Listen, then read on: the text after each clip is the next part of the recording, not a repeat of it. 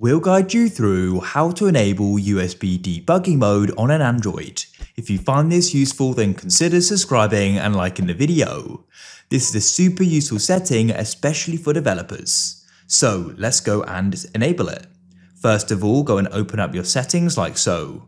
You need to scroll right to the bottom until you see the option about phone and click there. Here you want to go and click on software information. And what you can then do is start clicking on build number Keep on clicking on it and you'll be made a developer. You may need to go and enter in your PIN if you've got one. I've now done that and it's been enabled. So then what we can do is go and press back, come back to your main settings and scroll down and developer options is now there. Go and click on it and all you need to do is go and scroll down into the debugging section and you should see the option for USB debugging. What you can then do is switch it on. You need to confirm that you're sure you want to go and turn this on and press OK. And that's it. If you found this useful, then consider subscribing and liking the video. I look forward to catching you in the next one.